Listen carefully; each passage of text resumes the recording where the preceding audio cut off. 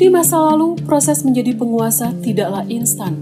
Karena itu, penobatannya pun menjadi suatu hal penting yang bukan sekedar seremonial. Penobatan penguasa pada masa Hindu-Buddha tercatat dalam sejumlah prasasti. Dalam prasasti-prasasti Majapahit akhir, disebutkan ada berbagai simbol kebesaran yang diserah terimakan dalam acara penobatan raja. Beberapa di antaranya adalah terompah, lancana, payung, dan tombak. Terompah adalah alas kaki atau wujud telapak kaki seorang raja.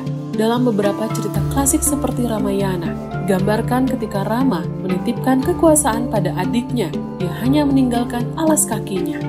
Itulah mengapa dalam prasasti Tarumanegara terdapat cap kaki raja.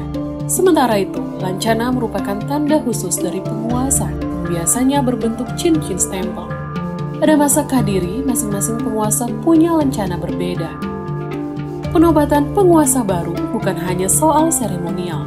Pengangkatan raja baru merupakan wujud komitmen dari raja pengganti, termasuk kesinambungan program terdahulu, rencana ke depan, dan legitimasi kekuasaan. Kesinambungan kebijakan biasanya berupa pengembangan dari program penguasa yang lalu. Misalnya, doktrin Hamukti Palapa yang dideklarasikan Gajah Mada, patih kerajaan Majapahit, Doktrin itu berasal dari doktrin Ratu Majapahit, Tribuwana Wijaya Tunggadewi, yang merupakan ibu Hayam Wuruk. Saat Raja Hayam Wuruk berkuasa menggantikan ibunya, doktrin politik itu pun diteruskan. Contoh lain dilakukan Kertanegara, Raja Singasari. Dia mengembangkan program raja terdahulu, Jaya Wisnuwardana, yang berniat mengintegrasi seluruh Jawa dalam Cakrawala Mandala Jawa.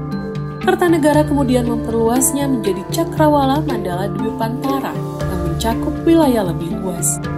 Layaknya penyampaian visi misi pejabat di masa kini, doktrin para raja biasanya sudah disampaikan ketika penobatan raja dilakukan. Yang lebih penting, raja-raja di masa lalu harus melalui suatu proses magang agar bisa menjadi penguasa.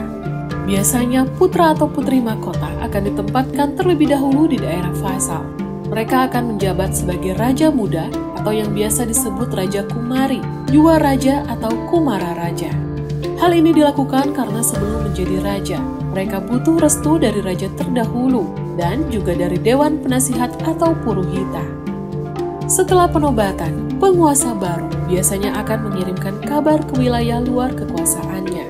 Ia akan mengirim utusan ke wilayah-wilayah lain untuk memberitahukan adanya perubahan penguasa. thank you